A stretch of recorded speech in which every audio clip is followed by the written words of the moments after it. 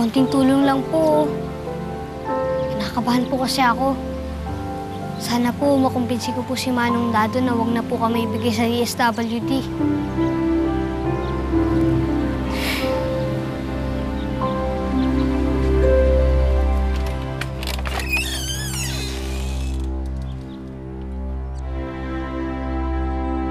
Malis ka dito.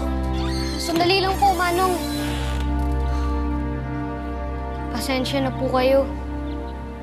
Alam ko po, mali yung ginawa ni Boy.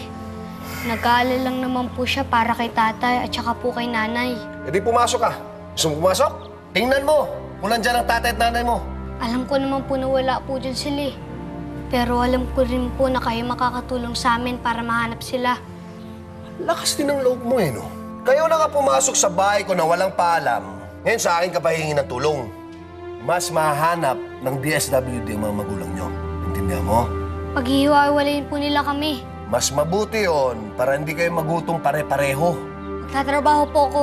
E paano yung pag-aaral nyo? Pagpapatuloy po namin. Eh saan ka kukuha ng pangtustos? Magtatrabaho po ako. Magkano sa tingin mong kikitain mo? Isang daan? Sinkwenta? Paano kung isa sa inyo nagkasakit? Saan ka kukuha ng panggamot? Hihingi ka. Sa tingin mo may magbibigay sa inyo. Mag-isip ka nga. Hindi ko po alam. Pero gagawa po ako ng paraan. Alam mo, mas mabuti yung magkahiwa-hiwalay na kayo. Nangako po kay nanay. Nangako po ako na alagaan ko po yung mga kapatid ko. Hindi po kami magkakahiwa-hiwalay. Siguro nga po, tama po kayo. Bata lang po ako. Wala pong alam sa buhay. Hindi ko po alam kung saan po kami kukuha ng pera. O pang tustos po. Hindi ko po alam kung ano pong gagawin ko pag may nagkasakit po sa amin. Pero ito po, sigurado po ako, ang isang pangako po, hindi po dapat talikuran. Kaya hindi ko po tatalikuran ng pangako kay nanay. Umaasa ka pa na babalikan kayo ng magulang nyo? Nangako po si nanay sa akin. E nasaan sila? Hindi ko po alam. Pero hindi po ibig sabihin nun, iniwan na po nila kami. Hindi po ganun si nanay. Mahal niya po kami. Masyado ka nagtitiwala sa mga tao, Toy. Hindi po kasi kayo marunong magtiwala. Pero magkaiba po talaga tayo.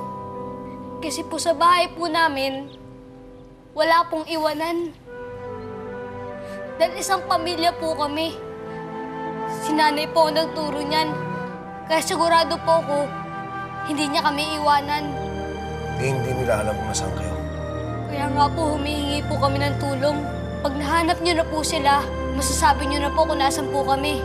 Pagkatapos po nun, aalis na po kami dito. Wala na pong manggugulo sa inyo. Hindi na po kayo makukulitan sa amin. Ninakawan ako ng tatay nyo. Bakit ko kayo tutulungan? Hindi po magnanakaw si tatay. Hindi niya po magagawa yun. Wala siyang kasalanan, ba't ayaw niyo magpakita sa akin? Kayo na po nagsabi. Marami pong tao naghahanap sa kanya. Hindi niyo malaman na totoo kung hindi niyo po siya makakausap. Hindi niyo po siya makakausap kung hindi niyo po siya hahanapin. Kayo na lang po tutulong sa amin. Tulungan niyo na po kami. Alam ko po galit po kayo sa amin. Pero alam ko po hindi po kayo masamang tao. Binigyan niyo po kami ng matutulugan. Niligtas niyo po si Maribel. Nasungit lang po kayo. Pero meron pong konting parte sa inyo na mabait pa rin. Kahit konti lang po.